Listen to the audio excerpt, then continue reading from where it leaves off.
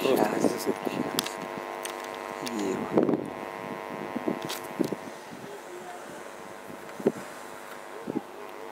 Почему Сейчас. колеса стучат?